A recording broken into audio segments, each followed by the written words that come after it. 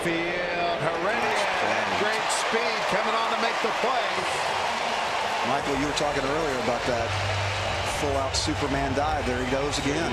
That's a great play on a ball that's down and tailing away.